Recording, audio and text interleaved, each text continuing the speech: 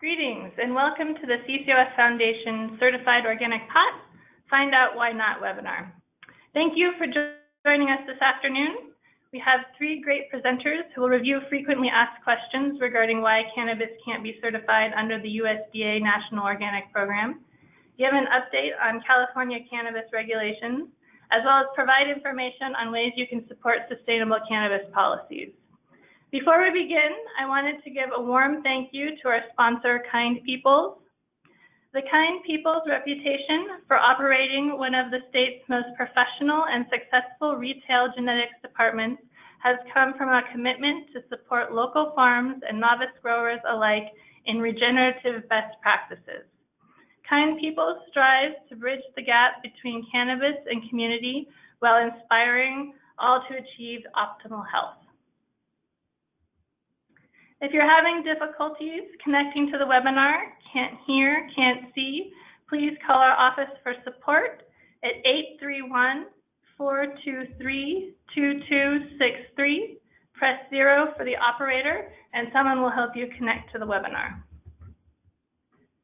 My name is Megan Donovan and I will be your host today.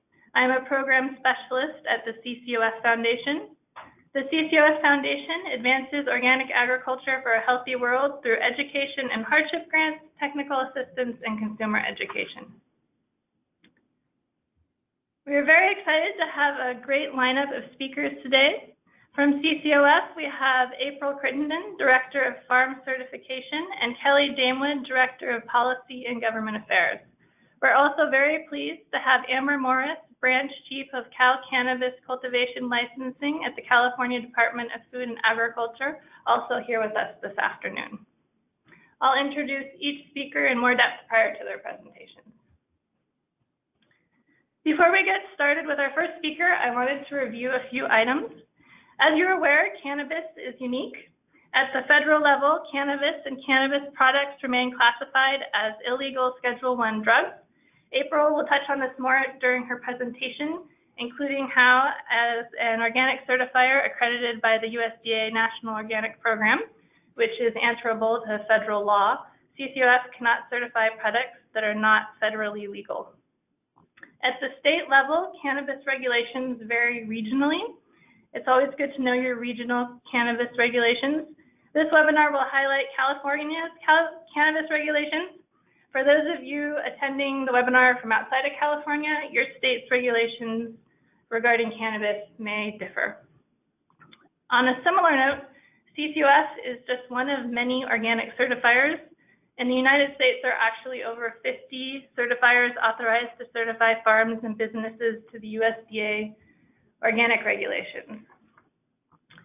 For the organic farmers and processors in the audience, it's always good to check in with your certifier regarding their policies and procedures.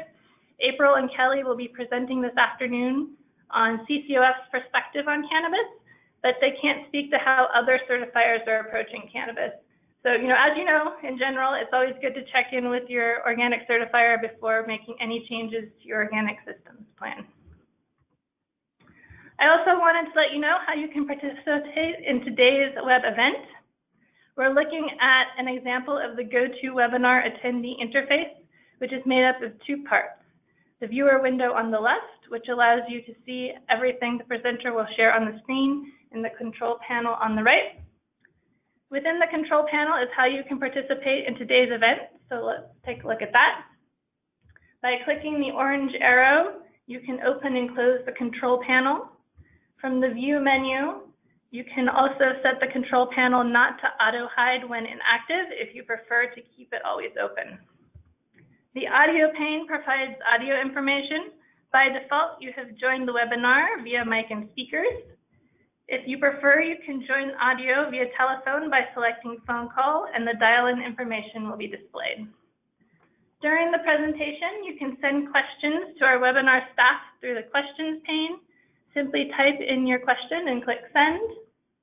After each speaker, we will we'll stop for questions from the audience and we'll answer as many questions as we have time for. As a final reminder, today's webinar is being recorded and everyone will receive an email with a link to view a recording of today's event along with a PDF of the PowerPoint slides. So we'd like to encourage you to test out the questions pane. Um, write in and let us know what sector you work for. I think we have kind of a mixed crowd out there today, and also how familiar you are with organic. And also just to note, we have a good group of people in the audience today, which is great. Um, and we're going to try to respond to as many questions and comments as possible. But we wanted to apologize in advance if we don't get to your specific question and encourage you to follow up after the webinar with additional questions and we'll provide you with contact information. So thanks again for being here with us today. Without further ado, um, it's my pleasure to introduce April Crittenden. April brings a wealth of knowledge on the National Organic Program and Environmental Stewardship in Farming Systems to her role as CCOF's Director of Farm Certification. April has worked at CCOF for over 10 years. She began her career with CCOF as a farm certification specialist, where she gained an understanding of the organic regulations for both growers and livestock producers. As a qual quality and compliance supervisor, April was responsible for overseeing all complaints investigations and CCOF's pesticide residue and GMO sampling programs. In 2016, April worked with SC Labs to develop and implement the EnviroCan certification program, which offers certification services to cannabis producers. Prior to her years devoted to organic certification, April studied at the University of California, Santa Cruz, where she completed a double major in environmental studies and anthropology. So April, thank you for being here today and letting us know some of CCOF's answers to the common questions we get on cannabis. Thank you. It's a pleasure. So CCOF has seen an increase in inquiries regarding organic certification of cannabis over the last year. So I've compiled the questions we're asked the most in order to provide you with an overview of our policy and why we can't currently certify cannabis to the National Organic Program regulations. As we're all aware, many states across the nation have legalized cannabis for medical and or recreational use. This slide provides a visual representation of just how many states have moved in the direction of legalization. The bright green represents recreational, and the darker green represents states where medical use has been legalized. The main issue for us, as an accredited certification agency that verifies compliance to the National Organic Program, is that cannabis is still classified as a Schedule One drug by the federal government. As an organization that envisions a world where organic is the norm, we would like to see cannabis production and processing meet the organic standards. The historic black market nature of cannabis production has resulted in significant environmental, human health, and land use issues. However, the state versus federal allowance of cannabis production creates a major conflict for all accredited certification agencies. The National Organic Program is a program under the USDA, and since cannabis and cannabis products remain classified as illegal drugs at the federal level, we cannot certify them until they are recognized as an agricultural commodity.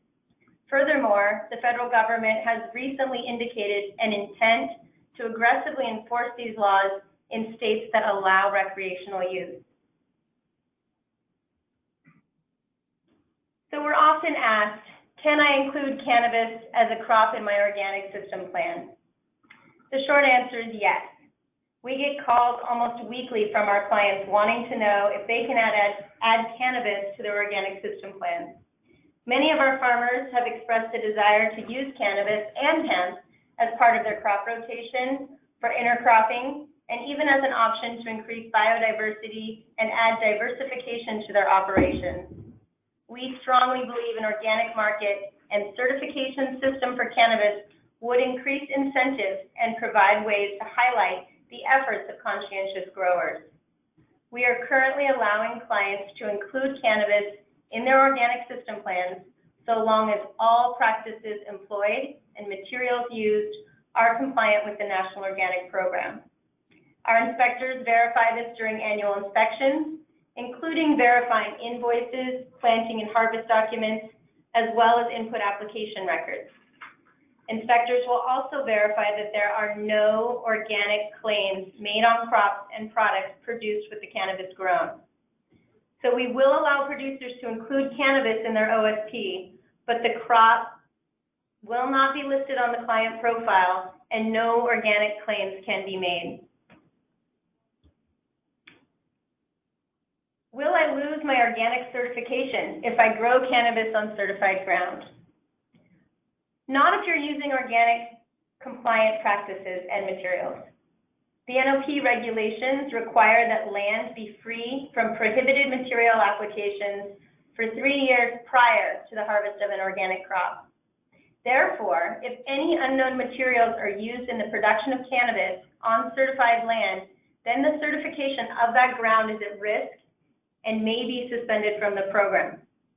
If the material is used is found to be prohibited, then the land would have to go through a three-year transition in order to be eligible for organic certification in the future. The use of an organic claim on labels, retail signage, or even websites may result in enforcement which could warrant a proposed adverse action, such as suspension or revocation of an operation certification and possibly again, even against the accredited certifier. This level of, of enforcement may have even greater consequences beyond certification if the Drug Enforcement Agency is made aware. It is due to these risks that CCOF cannot certify cannabis. Can I grow hemp? Can it be certified organic? Yes, if produced in accordance with the 2014 Farm Bill. In August of last year, the NOP released Instruction Document 2040 regarding organic certification of industrial hemp production. This replaced the previous instruction that was issued in February of 2016. This instruction clarifies the requirements certifiers must follow when certifying industrial hemp the 2014 Farm Bill authorizes institutions of higher education and state departments of agriculture to establish industrial hemp research or pilot programs. Of course, this is only in states where production of industrial hemp is legal. Additionally, the USDA worked with the U.S. Drug Enforcement Agency and the U.S. Food and Drug Administration to publish a statement of principles on industrial hemp. This document provides further clarification on how federal law applies to activities associated with industrial hemp that is grown in accordance with the Farm Bill. Hemp, as defined in the Farm Bill, must not contain more than 0.3% THC, which is the psychoactive element most commonly associated with cannabis. So what this means is certifiers can certify hemp to the organic standards if it is being produced as research under an agricultural pilot program by an institute of higher learning or under a state agricultural pilot program for research on the growth, cultivation, or marketing of industrial hemp. Can CCOF certify cannabis edibles or CBD? No, not at this time. CBD is a non-psychoactive cannabinoid found in cannabis and hemp. It can be used for many ailments and has gained a lot of attention for its effectiveness in treating seizures in children. Unfortunately, it was classified as a Schedule I drug in December of last year. This means, similar to THC, that certifiers cannot currently certify CBDs or products containing CBDs to the National Organic Program.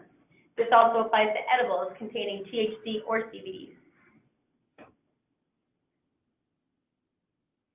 Can I use organic approved pest control materials? Now this question does not directly affect certification, but I think it's really important for organic producers to know. The EPA has not reviewed any materials for use on cannabis. This means that there are materials that are allowed for use in organic production that are not allowed for use in cannabis production. The two big ones to be aware of are spinosad and pyrethrins. You should not assume if it is OMRI listed that you can use it on cannabis. Please be aware of these limitations if you're producing cannabis. There are some states that are setting allowances for pesticides, So always check with your local and state regulators to ensure your use of materials is allowed prior to using them.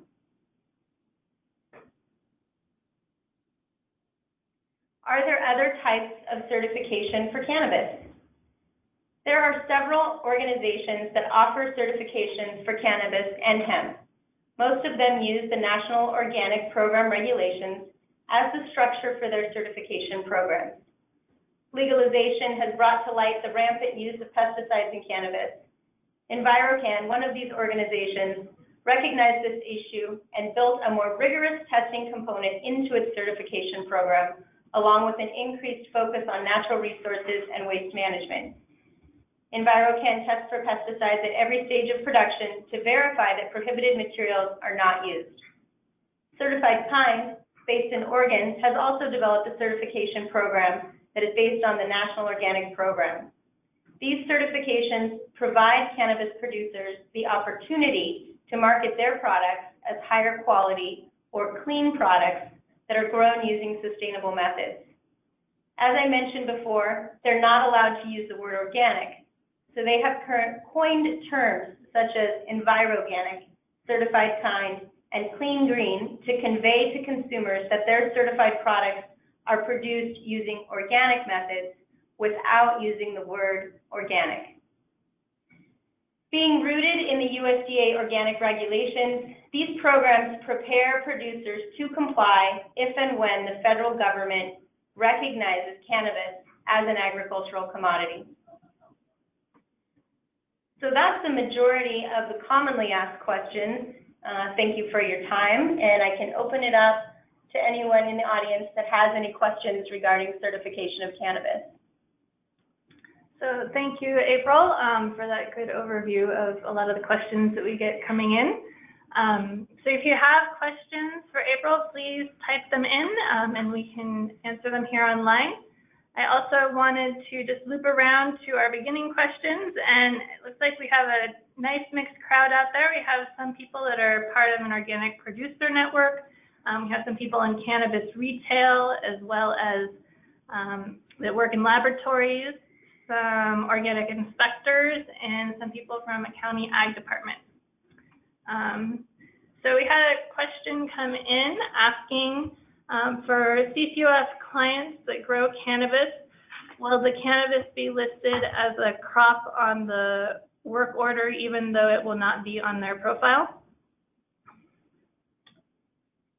On the work order, are you asking whether the inspectors are aware that cannabis will be a commodity that they need to audit at the inspection? Yes, absolutely. Um, but it will not be a commodity that appears on your client profile.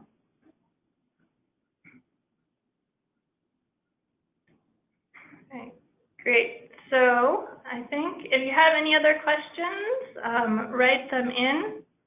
And if not, we'll we'll loop around at the end of the webinar for questions for everybody. So if additional questions for um, April come up, feel free to write them in at any time. But we'll move on to our next um, speaker.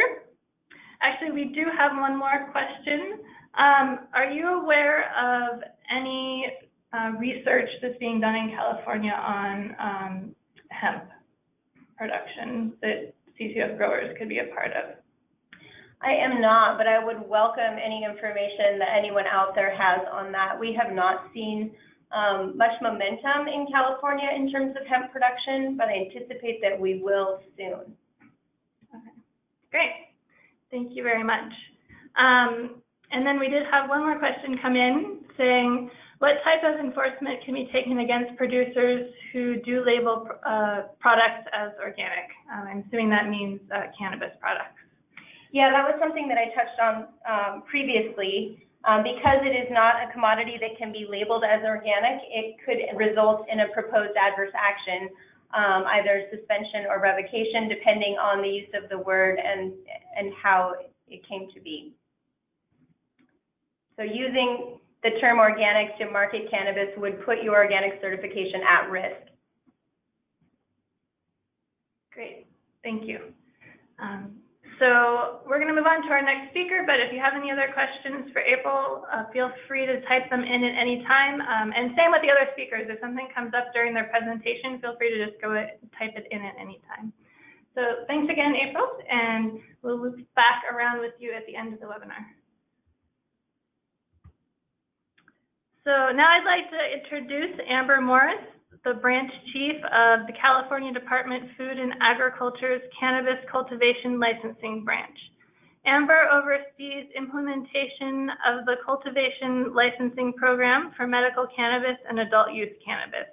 She has worked for the California Department of Food and Agriculture for nearly a dozen years in several capacities, most recently as the environmental program manager for the Interior Pest Exclusion Program, where she directed statewide implementation of the Phytophthora ramorum program, agricultural detector dog team program, phytosanitary export program, and the county high-risk pest exclusion program. Prior to her service with the state, Amber worked for the Sonoma County and the Sacramento County Agricultural Commissioner's Office. She has a bachelor's degree in environmental studies and planning with an emphasis in conservation and restoration from Sonoma State University. So Amber, welcome. Thank you for being here with us this afternoon, and I'll pass the presentation over to you. Uh, thank you, guys. Uh, thank you, CCOF, for inviting me to present today. Um, I'm with, again, the Department of Food and Agriculture. In the cannabis world, there's lots of state agencies that are involved, so I just want to make it clear from the very beginning that the Department of Food and Agriculture is responsible for cannabis cultivation. So anyone who's growing the plants for flower. Um, hemp is also, I'll mention this at the forefront, um, under the Department of Food and Agriculture. However, it's not under the same division. So any questions about hemp are um, they're to be directed to the Department of Food and Agriculture, um, but it's not my forte. So I'll do my best if you guys have any questions about hemp. But uh, we're responsible for the flowering product. So I'm going to briefly go over a couple of topics. Who does what? Because there's so many players in California. I'm going to go over the laws and regulations because they are a, a, moving target. I'll let you know where we are now. Um, I'm also going to go over where we are in the program environmental impact report we're doing for the statewide program. And then I'll also touch on two technology projects that are underway. So who does what? So as far as licensing the cannabis industry, there are three agencies in California that are responsible for licensing. For cultivation, Food and Ag is the lucky winner. Uh, for manufacturing, that's the Department of Public Health. So manufacturing is anything where it takes the raw flower and it turns it into something other than the raw flower. So we're looking at all of the extracts, that are produced, all of the products that are made with the extract, so any of the cookies or the tinctures or the lotions or all of those manufactured products. To do any of that manufacturing, you would need to be licensed by the Department of Public Health. And then the third agency involved is the Department of Consumer Affairs. And under them is the Bureau of Cannabis Control. This agency has the responsibility for licensing the distributors, and that includes transporters, uh, testing labs, and the dispensaries, so the retail. So there's three agencies issuing five different types of licenses. For Department of Food and Agriculture, in the law, we are responsible for issuing licenses based on the type of cultivation you're doing and the size of cultivation. So you'll see at the top of the slide, there's the type, the outdoor indoor mixed light. And then on the left side, there's the specialty cottage, specialty small, medium, large, and nurseries. So these are the different sizes that the department will issue size licenses. Um, I do have a note under medium. So all of the outdoor indoor mixed light for medium, the law requires the Department of Food and Agriculture to limit the medium licenses issued at the state level. Um, we have proposed that that limit be one per person. Um, that's just an, a proposed regs, so that is not um, a final regulation. Large nurseries, in the law, it actually requires that the large nurseries, and if you notice here, there is no limit on the size. It's just ones that begin at an acre or at 22,000 square feet and are just larger than those sizes. Those, um, based on law, will not be issued by the department until 2023. And I think that the intent of holding off on issuing those large license types is to allow our legacy growers or those small growers within the state to get a foothold in the market before we open the door to larger companies that would have larger grows. Uh, and then lastly, we also will be licensing nurseries. Uh, nurseries are people who are growing plants but not for flower. They're actually growing the clones or the propagative material that other nurseries, I'm sorry, that other cultivation sites may use. Or they would also be growing the clones where you could buy at a retail location.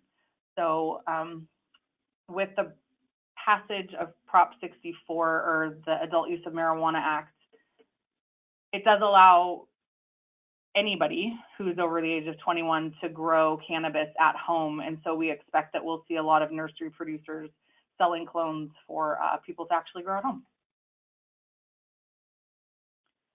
So I mentioned three agencies that are involved with licensing. Keep that in mind. Three will be licensing the industry, but I think every single one of California's departments are involved in creating the regulatory uh, framework. So CDFA in particular is working with uh, the Department of Pesticide Regulations, the State Water Resources Control Board, and the, the, the, Department of Fish and Wildlife very closely. So as part of our licensing requirements, you will need to comply with all three of those agencies' regulations for water, pesticide use, and our um, critters, we like to call them at Fish and Wildlife. Uh, we will also be working very closely with the Department of Justice. Any applicant that comes to the state for a cultivation license will be required to have a background check uh, through fingerprinting in the Department of Justice. Uh, labor, so anyone who is operating a cultivation site under our licensing will be subject to every other law that applies to any other business in California, including Cal OSHA. Um, we're also partnering very closely with the locals, so cities and counties can create ordinances that um, the law was written in a way that allows local control. So locals have the ability to ban cultivation in their city or their county. Um, they can also be more restrictive than the state. So locals, um, the, again, the law was written in a way where locals have control over what happens in their communities. And as part of our application process, we work very closely with the locals to verify that the applicant applying to the state is in compliance with local ordinances. We're also working very closely with the Department of Technology. The Department of Technology is overseeing our uh, work on track and trace, and also we are putting up a licensing system, which I will go over a little bit more in detail later. Um, treasury, obviously cash is a major issue that the state is grappling with and um, the treasurer's office is working very closely with us as a good partner. The former Board of Equalization, I'm sorry, I need to update this slide. They are now the California Department of Tax and Fee Administration. So CDTFA, formerly the Board of Equalization, they'll be collecting the cultivation tax and the excise tax at sales uh, the board of the medical board, patients, caregivers, all three of those because of the medicinal use, and the governor's office. Everything that we're doing is under close oversight of the governor's office. They are looking forward to seeing this succeed, and they're just helping make sure that we are on track to make that happen. So in California, there were previously two sets of laws that governed cannabis. One was issued in 2015. It was the Medical Cannabis Regulation and Safety Act. That was passed by the legislature and only addressed medical cannabis. So it was the first attempt at creating laws that would regulate medical cannabis, and it was very detailed. Um, shortly thereafter, so within a year, the voters also passed Prop 64, or what's known as the Adult Use of Marijuana Act. Um, we were told very loudly and frequently by states that had gone before us with um, putting in a regulatory structure for cannabis that it is not a good idea to move forward with two sets of different regulations for medical and adult use. Um, reason being is that when someone is growing a plant for either medicine or adult use, and there's two different sets of regulations, it would confuse not only the industry, but also the agencies that are regulating the industry. Um, it's also, it was also perceived as a potential inefficient use of state resources to have two different sets of laws governing the same thing. Um, and so what happened is the governor's office realized that it would be good to look at the differences and work on aligning the two sets of laws. And just in June of this year, June of 2017, um, a bill was signed. It's Senate Bill 94, which basically repealed the Medical Cannabis Regulation and Safety Act. So that act and the laws that it created are no longer there, they're repealed. And um, it updated the Adult Use of Marijuana Act to be streamlined with uh, the medical use and to include medicinal and adult use. Uh, another thing that it did specifically, and that's why we are talking today, is it uh, mandated the Department of Food and Agriculture to establish a cannabis program that is comparable to the National Organic Program. So if you would like to read that law, the, the law is uh, Business and Professions Code 26062. And it describes that the department is mandated to create this program. It gives us a little bit of time to do that. Um, it gives us until January of two, uh, sorry, 2021. Um, and then it also addresses if the federal barriers come down and it is someday uh, acceptable between states, so um, federally, that this section would no longer be operable and the, the National Organic Program could step in. So it has the foresight to at, least give California some time to develop how we're going to approach this. And then it addresses what will happen if the uh, federal government changes their uh, stance on cannabis. So with laws, it basically allows state agencies to create regulations. So in creating regulations, all we're doing is further clarifying what the law is. Um, providing the industry, hopefully, uh, we did our best to make it plain language, um, but giving them a good set of, of clear guidance on how they will become licensed as cultivators. So with the, I'm going to back up a slide. So with the Medical Cannabis Regulation and Safety Act, the department started moving forward on the regulations for medical cannabis. We published those regulations and their draft regulations. We go through the um, Standard Administrative Procedures Act process to adopt regulations. So we issued these draft regulations in April with a 45-day comment period for the public. We received a bunch of very valuable comments from our stakeholders um, not just the industry, local governments, um, the public. We had really good feedback. And when regulating a market that's never been regulated before, it was very important for us to get valuable input because since we've never done this before, it, it hasn't happened, we wanted to make sure that we weren't creating something that didn't work on the ground.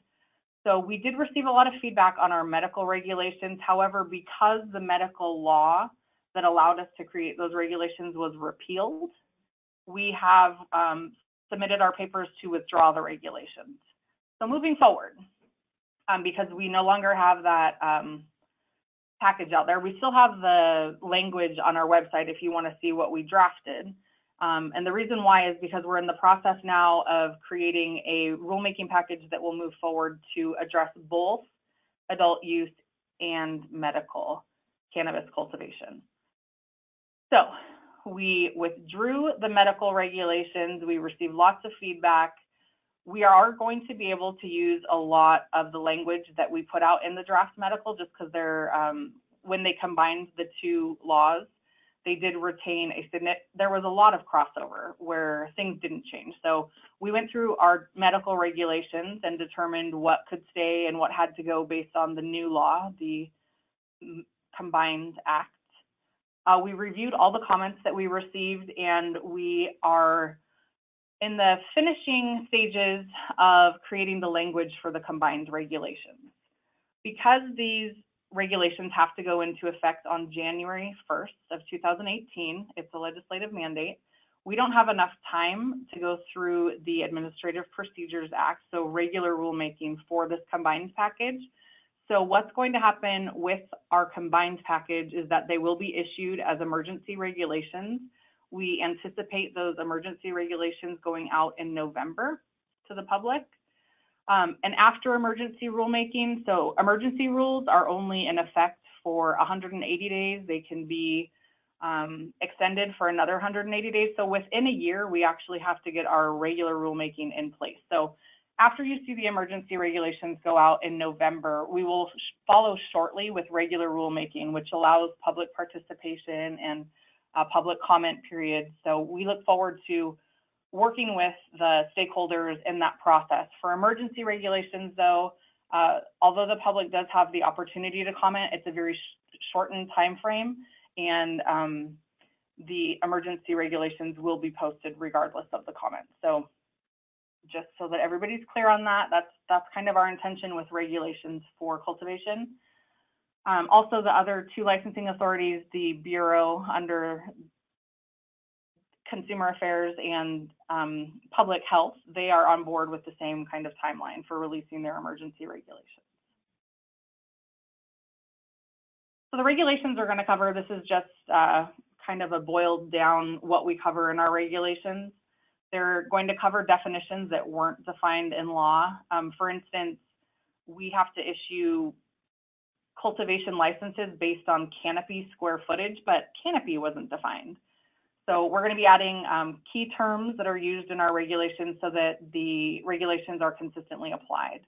Um, application, there's an application section. It's going to detail for our cultivators how you apply, what's necessary, uh, the detailed information of what the department needs to receive to consider the application.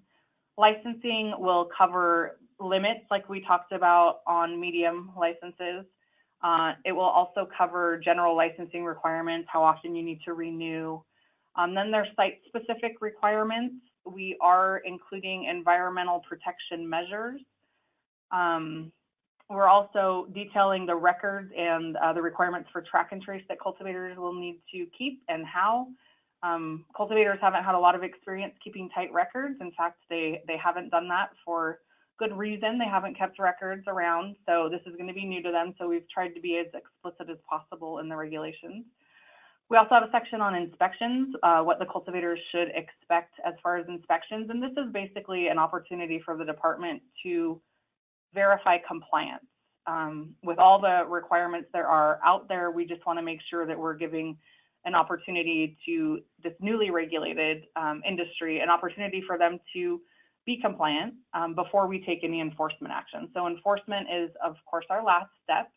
But if we find that we've licensed someone who cannot or will not comply with the requirements of being a licensed cultivator, we have a section that details out um, the process for repealing, suspending, or revoking a license, their um, ability to uh, appeal that suspension, re revocation, or um, action on the license. So we do detail out for the cultivators in this section what um, violations are serious versus moderate and the uh, fee that's associated with them. Again, we would really like to gain compliance before taking uh, enforcement action, but it is there so that it's a transparent process, so that people know that if they cannot or will not be compliant, that there are financial implications with that. So I have this in here um, just to be clear because this changed in SB 94 and it's a little bit unclear um, for a local permit. So previously in the medical law, it did require that we first, that anyone who came to us had to have a local permit. So their, their local agency had to be permissive and they had to provide evidence of that to CDFA. Uh, the, the new law under Business and Professions Code Section 26055 um, requires that we contact the local agency. So instead of requiring us to see a permit from the local agency, we may or may not be provided a permit, but there's a whole process that's dialed in in Business and Professions Code 26055. where we engage the local agencies to ensure that what we're doing at the state level is not in contradiction to what they've established at the local level. So it's changed a little bit. The program environmental impact report. So we began the uh, program environmental impact report last April. So we've been in this for about a year and a half. And when we first started, it was only for medical. Uh, we expanded the scope recently, so this April, to um, include also adult use. So we had to reissue our notice of preparation in, I, I believe we issued that in April this year. Yes, sent out in April. Um, so our program, our program environmental impact report now covers both medical and adult use. And here's kind of a timeline. So um, in June, we put out our draft program environmental impact report for public comment. We're not here anymore, I apologize. Well, we actually are here. So we, we are through our public comment period and we are in the process of finalizing our document. Um, something to consider is that we cannot go out with our emergency regulations until we have our environmental documents certified.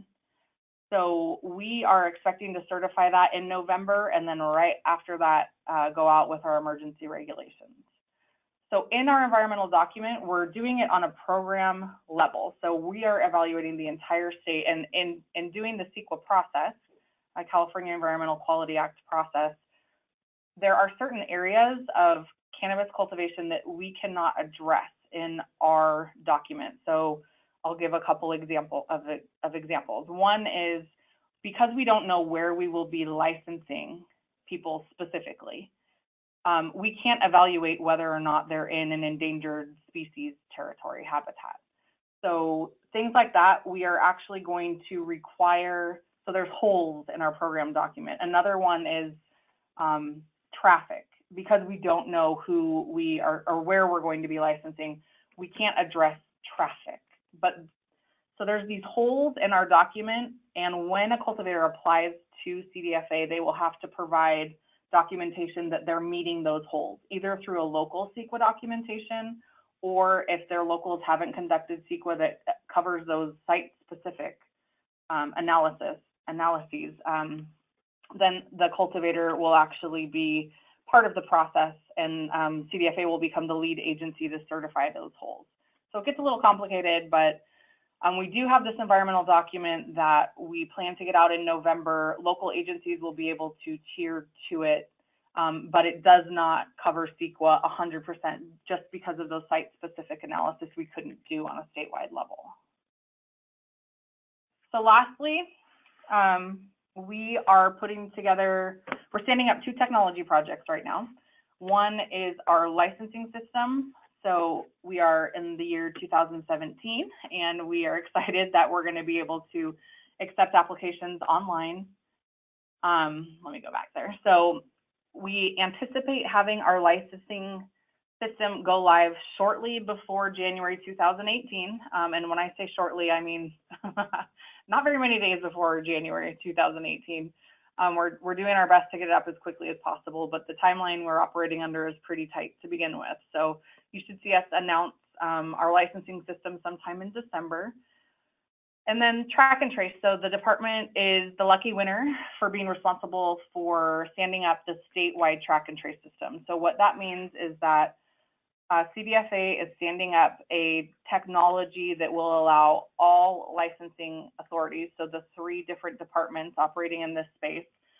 It's a, a system that all three of us will use for our licensees to make sure that we are able to track cannabis from the farm to the retail site. So there's a couple of reasons for that. The track and trace system is being developed to ensure that product that is grown illegally doesn't enter the regulated market. We're also um, making sure that product that's grown in the legal market doesn't end up in the black market. I mean, there might be some price differences between the two, so we would hate to see someone who's operating in the regulated market divert their product outside of it. And then also, if there is a, a legitimate health concern, um, from someone who has purchased a product that was grown in the regulated market, this system will allow us to track it back um, to either the manufacturer or the farm or the, the distributor where it became contaminated. So um, the state has one system we'll be using for all licensees. It does not um, prohibit, the law does not prohibit a, a, local agency from having their own track and trace, but I uh, am trying to be as transparent as possible that if there is a track and trace at the local level, it may require the cultivator to enter their information into both. There's an opportunity that we have. Um, there, there's an opportunity for interfacing with those systems, um, and we hope to have that up and running as quickly as possible. But those local agencies that have a track and trace system, it is in addition to the state, so it does not supersede the states.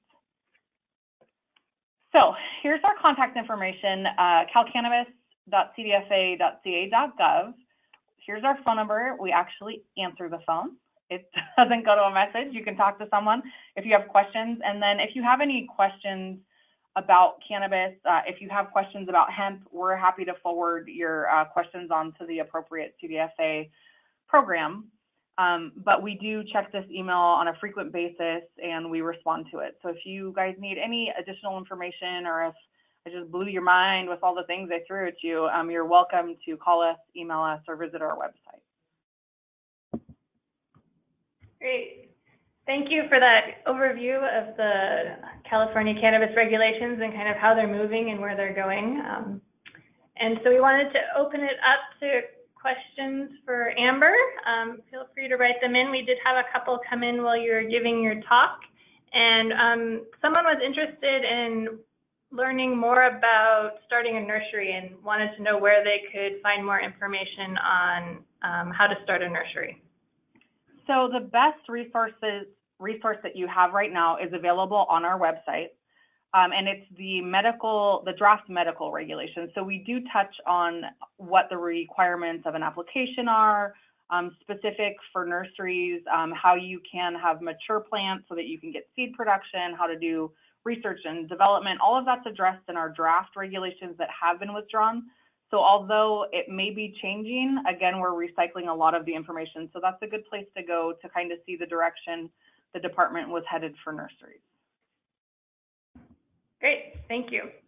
Um, and then someone also wrote in wanting to know where they can uh, obtain a copy of the November emergency regulations once they're out. So we have on our website, there's actually a, a, place where you can sign up to get automatic emails. I would encourage everyone on the phone who's interested, we don't spam you. Uh, we just let you know when we have anything important to announce. The the last email that we blasted to our, our uh, email list was about the withdrawal of our regulations and kind of the process moving forward.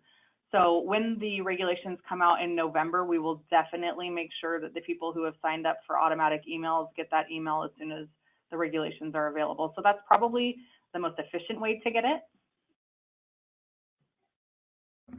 Great, thanks. Um, and then we also had someone who was wondering who would be good agencies at the local level to contact just to find out more about your local regulations. So it's it's um, in the law, the local regulations and the promulgation of ordinances were not assigned to one local agency. Um, we partner with the Agricultural Commissioner's Office, um, and I know that they're involved in some local agencies. The Planning Department is also sometimes involved. So I would suggest starting with those two and, you know, if it's not them, I'm sure they can point you in the right direction. Great, thank you. Um, and then we also had a question um, wondering how clone testing is going to be addressed. Uh, so interesting in SB 94, nursery stock was written out of testing requirements. So clones going directly to retail will not be tested. Okay, thanks. And I, um, And, I can follow up and give you that, uh, business and professions code. It's in there somewhere. okay, yeah, that would be great. Um, and we're also wondering, will pesticide tolerance be established under the CDFA regs or um, public health regs? So that's a very good question. Um, So the word tolerance is a federal term, so similar to organic. Um, the California Department of Pesticide Regulations does not um, set the tolerance levels for pesticides. That's the federal government's job. So what the Department of Pesticide Regulations is doing instead is defining uh, residue limits. so um, that is under the purview of the Department of Pesticide Regulations, and they are working hand in hand with the Bureau to provide them those residue limits. Um, and those will be part of the testing requirements. Great. Um, thank you. And I think we're going to wrap up the questions for Amber right now, but if anything else comes up during the presentation, we'll open questions back up again. So Amber, thank you again for your presentation and um, filling us in on what's to come with cannabis in California. Thanks for having me. So next, we're going to move on to our next speaker. Um, it's my pleasure to introduce Kelly Damewood. Kelly is living her dream job advocating on behalf of organic farmers as the Director of Policy and Government Affairs for CCOF. After a brief stint running a small organic farm, Kelly went to law school determined to help farmers navigate the legal issues that impact their ability to grow food in a better way. She received her JD from Vermont Law School and her LLM in Agricultural and Food Law from the University of Arkansas School of Law. Kelly is also influenced by her diverse experiences living and working in different regions of the United States, including growing up in Texas, selling products at outdoor markets throughout the Pacific Northwest, and writing for an online newspaper with worldwide distribution. Most of all, as a member of the millennial generation, Kelly is committed to carrying organic advocacy well into the future because she believes organic truly is the movement to transform our food system. So Kelly, thank you for being here and I'll pass it on to you. Okay, thanks, Megan. So thanks for the opportunity to speak and, and address uh, some updates from CCOF Policy Department. So many of you know CCOF is an organic certifier, and of course, um, our foundation hosts these webinars. But we also um, have an arm that operates as a farmer-driven advocacy organization. And so it's my role at CCOF to work on behalf of CCOF certified farmers, ranchers, uh, handlers to advocate for policies that support organic um, producers. So our work on cannabis regulation certification so far. So we've been watching with a very keen eye the development of these regulations. Um, organic was once the new and evolving sector of California's agricultural economy, and so it's quite fascinating to watch um, cannabis evolve as well.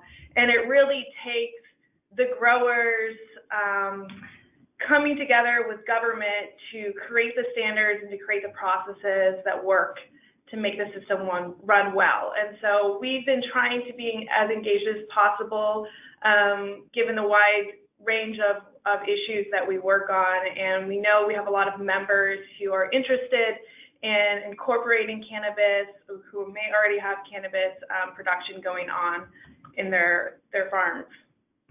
So first and foremost, we've just been monitoring, monitoring developments and trying to inform our members as best as possible. I just want to echo Amber's encouragement to sign up for Cal Cannabis Updates. They have a great web page with a lot of information and send out relevant emails at the right time. That's how um, we actually stay up to date on what's going on with Cal Cannabis.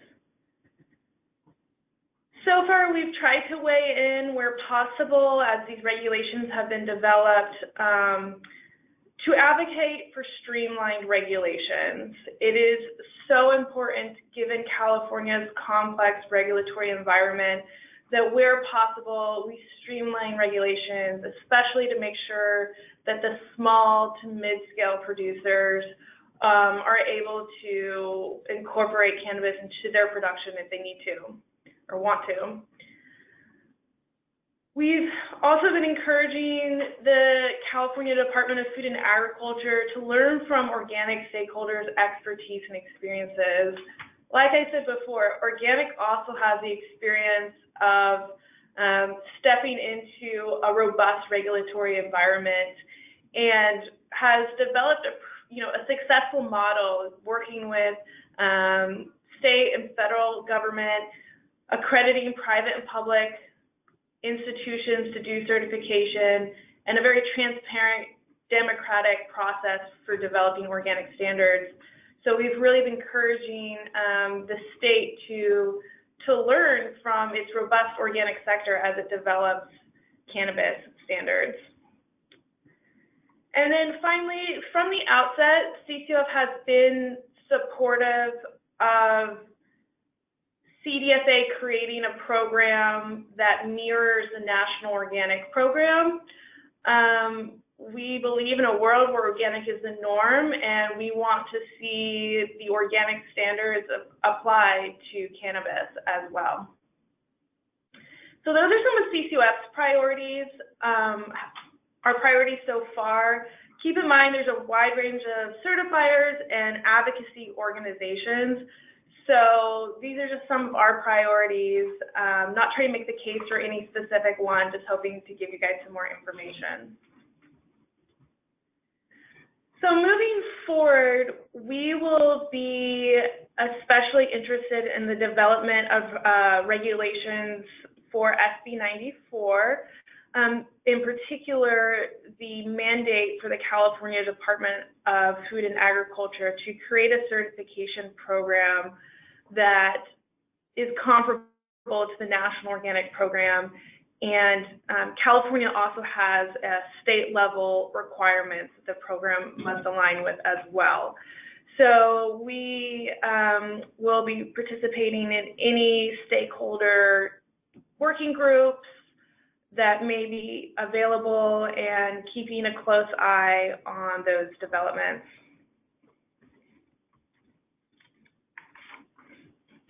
As CDFA moves forward to develop a program, um, again, it's 2021 is the deadline.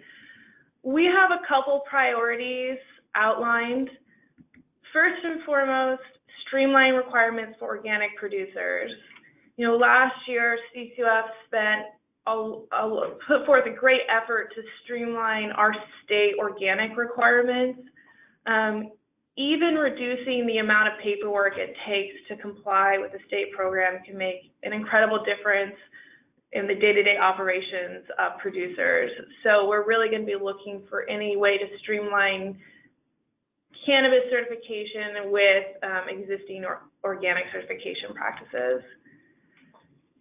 Second, you know, we feel at this point that the department should accredit organic certifiers like CCOF or QAI or Untilt or any of the certifiers operating in the state to administer um, the certification program when it's developed for two reasons. I think first, we've seen that it's a successful model, the most cost effective way for the uh, a state government body to make sure that the wide range of the inspections and paperwork can be handled in the most cost-effective way for for the for the those paying the fees and the um, taxpayer dollars.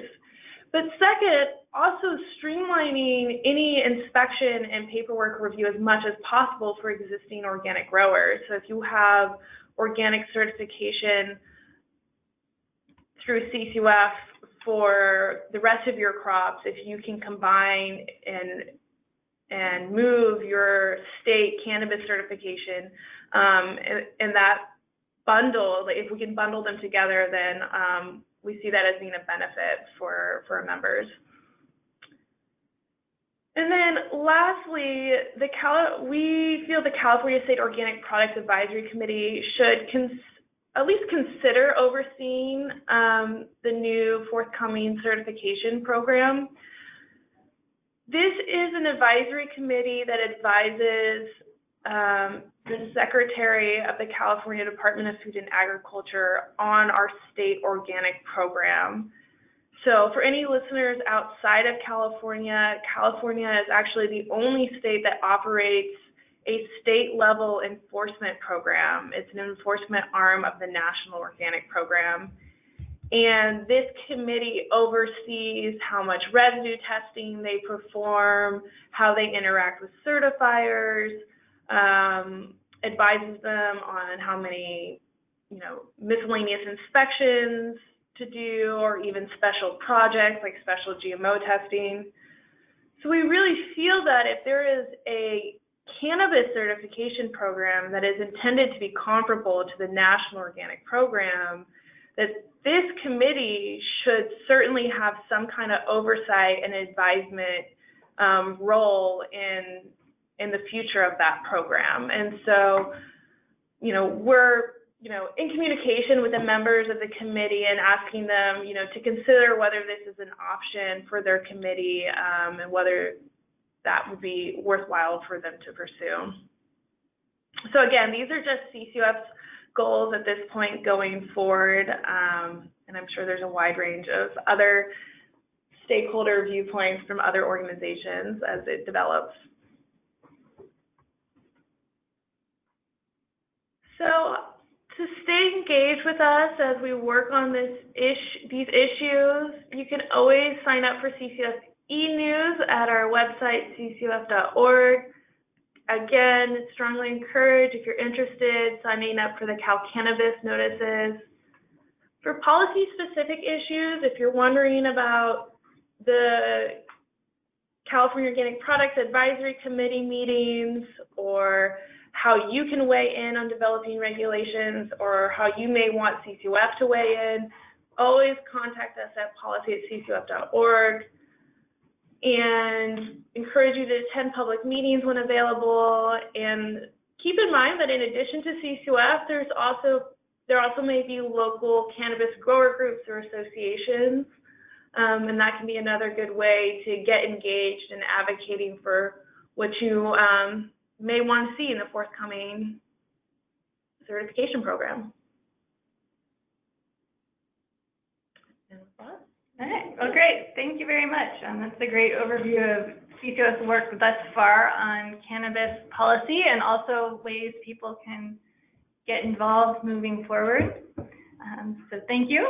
And we wanted to open the questions up. Um, if you have questions specific for Kelly, feel free to write them in or any others for all speakers. We'll um, have a little time for um, questions and answer for all speakers.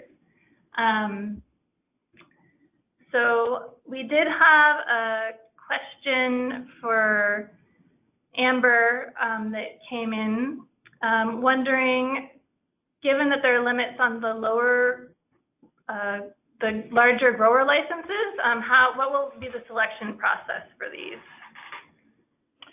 So large license types will not be issued until 2023.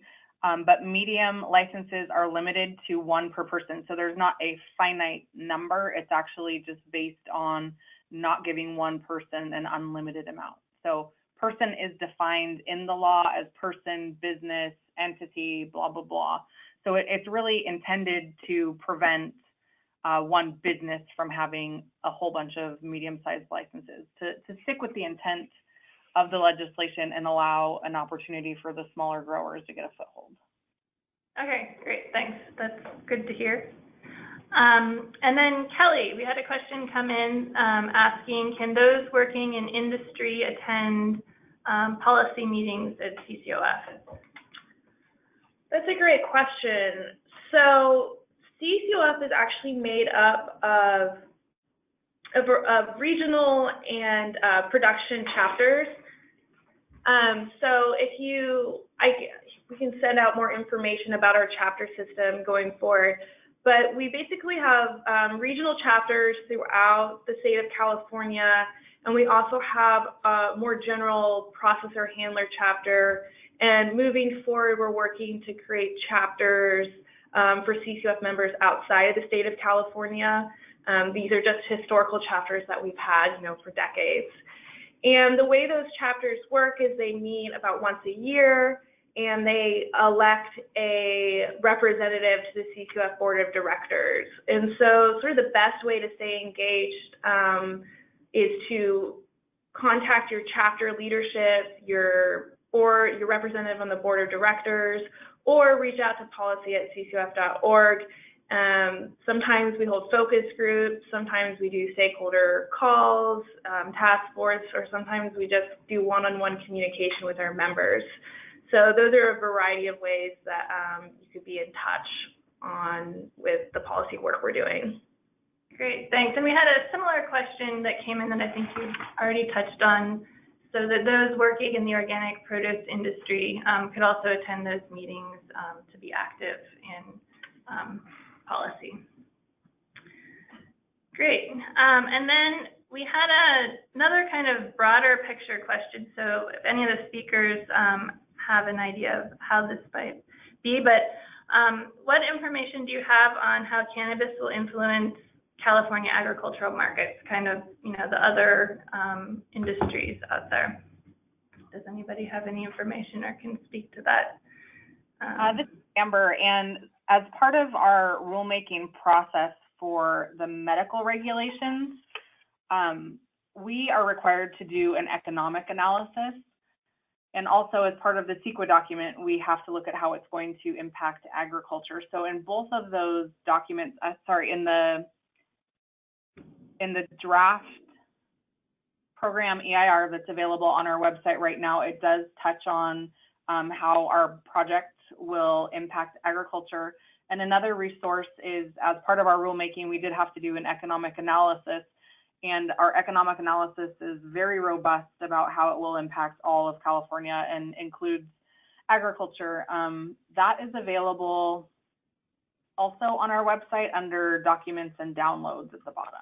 It's called the Standardized Regulatory Impact Assessment.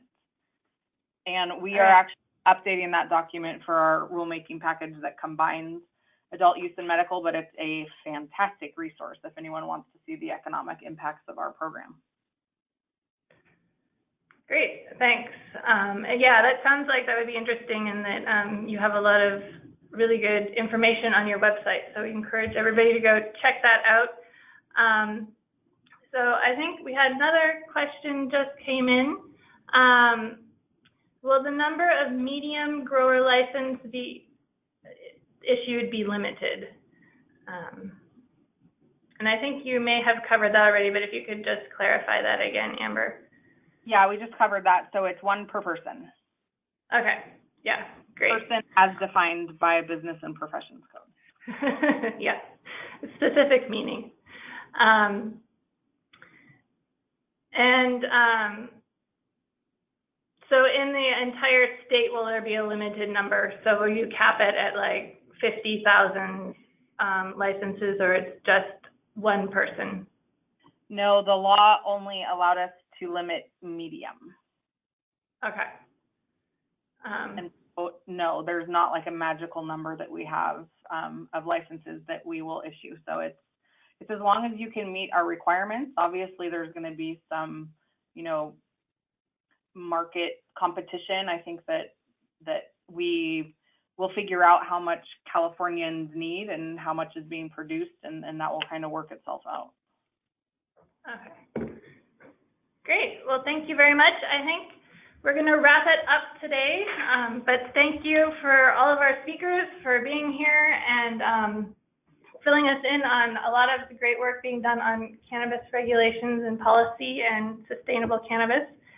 So thanks again to everyone. Um, also wanted just to touch on some additional resources. I know there's been a lot of good resources um, included in the presenters' presentations, but just to add to that, the CCOF website has a lot of good resources, and a lot of the questions covered in April's presentation are also on a blog post that we put out, so you can take a look at that and use it as a reference. Um, if you're new to organic certification and the organic world and just want more information on the USDA National Organic Program, um, the, their website on the USDA Agricultural Marketing Service is a great place to check that out. And they also have, if you're you know, wondering what other organic certifiers out there or want to know what they're doing on cannabis and want to contact them about that, they have a whole list of um, organic certifiers you can check out.